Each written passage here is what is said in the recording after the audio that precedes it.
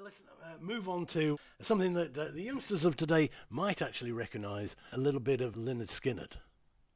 Yeah. Um, three steps. Yes. Uh, now we're going back from England all the way back to the uh, original place again, you know, Yeah. so that's down south. Lynyrd Skynyrd is obviously, they're coming from that sort of same period in, in, in the way that their music originates from the blues. But then there's another fantastic band, I think, because they, they are obviously extremely good musicians. hmm They're very, very tight in what they're doing, you know. But, but also, what I like about it is that I always love a good story in a song.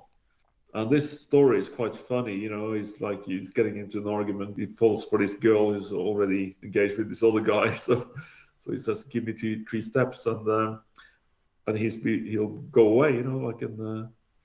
Uh, yeah, I do like that sort of song, um, but but also like the band here is on fire. You know, it's I, I think the debut album. This is from 1973, and it's one of the best debut albums I think I ever heard. You know, every Yes. single song on that album is just amazing. Yeah, it is a great album. That is. That is a nice choice.